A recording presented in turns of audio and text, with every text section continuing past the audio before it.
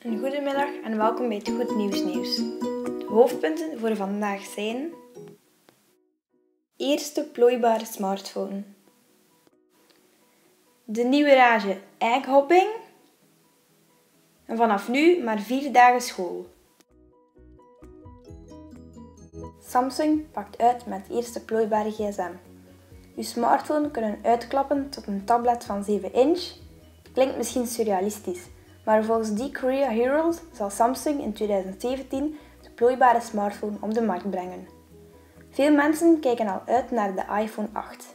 Maar het is niet de enige innovatie waarnaar ze mogen uitkijken. Sinds 2008 is Samsung aan het werken aan de plooibare versie van de mobiele telefoon.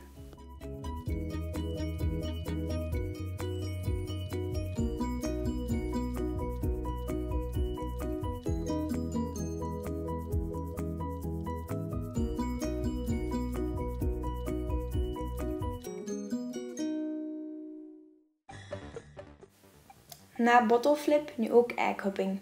Na de bottleflip is er nu ook een nieuwe rage, egghopping. Egghopping is een initiatief van Technopolis om zo jongeren aan het experimenteren en het denken te zetten.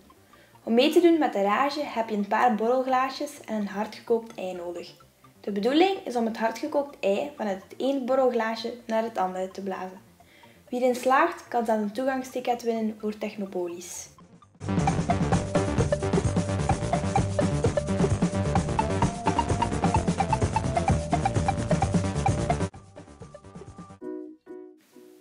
Nu vier dagen school en drie dagen weekend. Goed nieuws voor de jeugd. Hilde Wits, minister van Onderwijs, heeft besloten dat de schoolweek vanaf nu maar vier dagen in plaats van vijf dagen zal tellen.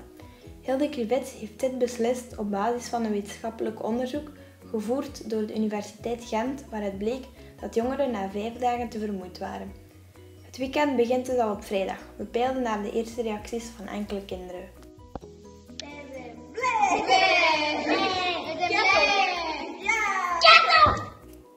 Bedankt voor het kijken en tot de volgende keer.